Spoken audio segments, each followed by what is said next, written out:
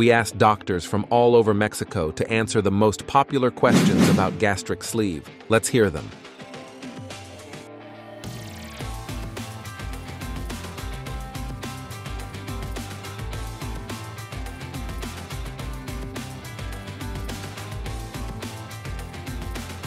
I do gastric sleeve surgery, whole restricted procedure where we remove more than 80% of the stomach.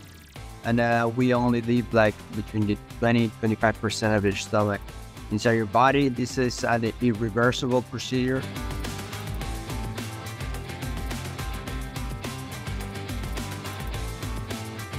The first day is the day of the procedure. So when the patient is ready to go to the surgery area, we take them. The surgery takes about one hour.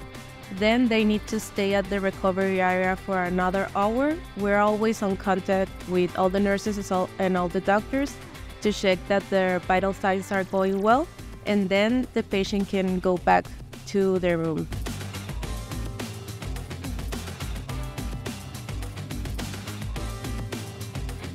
there is no restriction of age.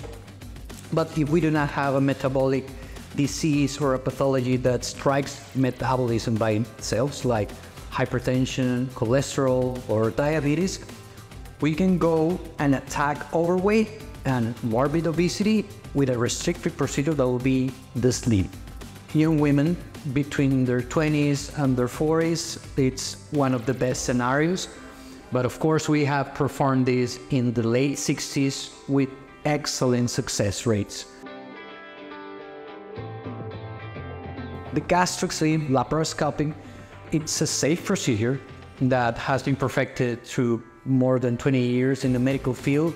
And I'm there to say that this will be the main procedure that it's done in the practice of my team and myself and it's a safe procedure that if it's done carefully with the right equipment and with the right team, of course, in the right patient, well, the success rate is enormous. All the patients tell me that they feel safe here because we always have someone with them 24 7. It can be a nurse, the doctor, or the surgeon. So they have the facility to ask for any doubt of question and it resolved quick.